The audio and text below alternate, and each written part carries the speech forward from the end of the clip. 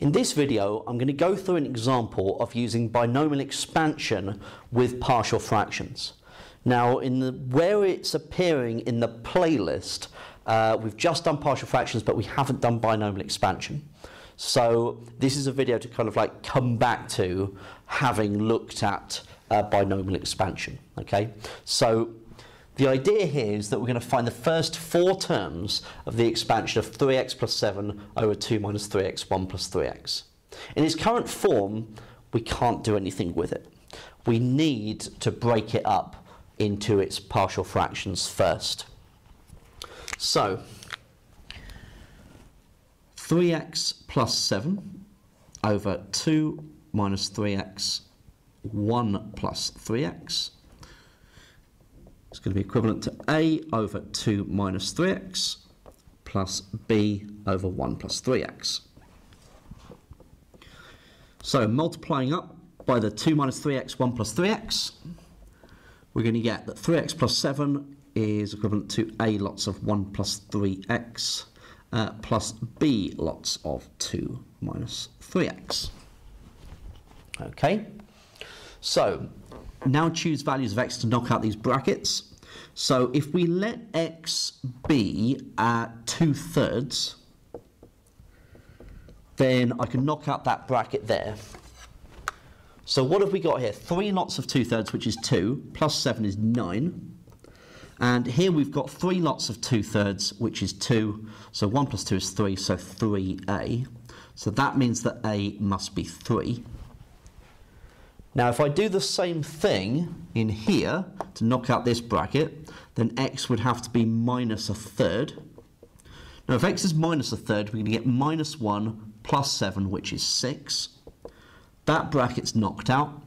Uh, 3 lots of minus a third uh, is 1, so 2 plus 1, so 3, so 3b. So that means that b would have to be 2. Okay, so we've got the A and we've got the B. Right, so I can write this as 3 over 2 minus 3x plus 2 over 1 plus 3x. Okay? Now, from there, I'm going to rewrite that as 3 lots of 2 minus 3x to the minus 1 plus 2 lots of 1 plus 3x to the minus 1. Now I've hit another problem. I can't use the binomial expansion with 2 minus 3x because I need it to be 1 plus or 1 minus. So I've got to factor out 2 to the minus 1.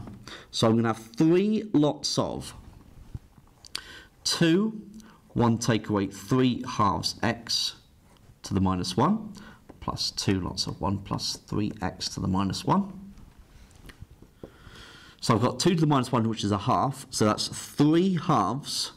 1 take away 3 halves x. Uh, plus, oh sorry, to the minus 1, plus 2 lots of 1 plus 3x to the minus 1. Right. Okay, so next stage. I'm going to be going up here, I think. So, next stage is to actually do the expansion. So we've got 3 halves times. Now the expansion of 1 take away 3 halves x to the minus 1. So it's 1 plus n times x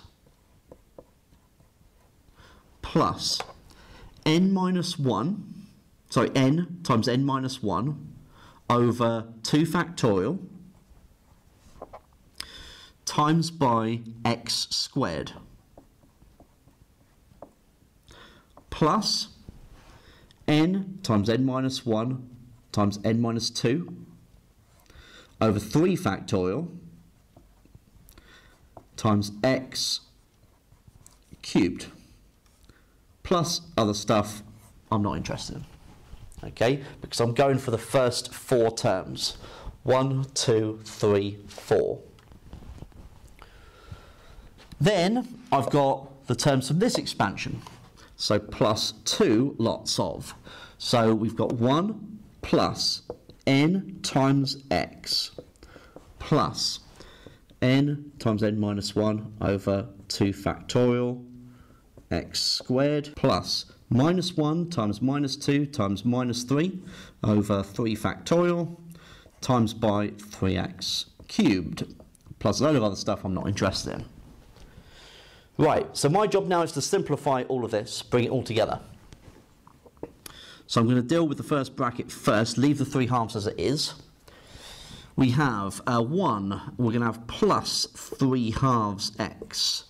Um, that will just be 1. Uh, so we can have plus 9 quarters x squared. That will be negative 1 times a negative, so positive. Um, so positive 27 over 8 x cubed, plus a load of other stuff. Plus two lots of 1, take 3x. Uh, that's 1, so plus 9x squared.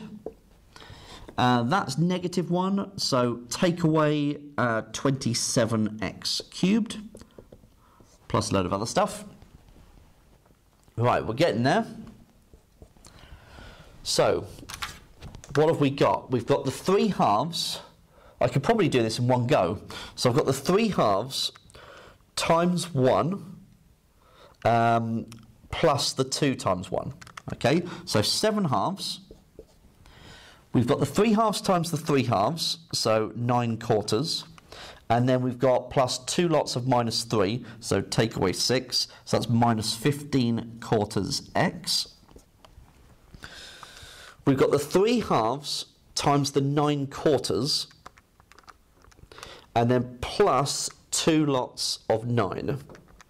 So that's 171 over 8 x squared. And then finally, we've got 3 halves times by 27 eighths plus 2 times minus 27. So minus 783 over 16 x cubed plus a load of other stuff I'm not interested in. Whew, right, so that is the expansion. Now, if I was interested in its range of validity uh, for this problem, then if I looked at this here, then the modulus of minus 3 halves x must be less than 1. So that means the modulus of x must be less than 2 thirds. And for this one, we've got 3x modded is less than 1. So mod x has got to be less than one third. So if that's zero, the first one's going between minus two thirds and two thirds. The second one is going between minus one third and one third. So where do they overlap? They overlap here. That is where they are both true. So the range of validity is the mod x is less than one third for the original question here. Okay, so that's how we can use partial fractions to split it up ready for binomial expansion. Um, it's quite intensive uh, and it's very easily prone to errors. Okay, so you've got to watch yourself at each stage.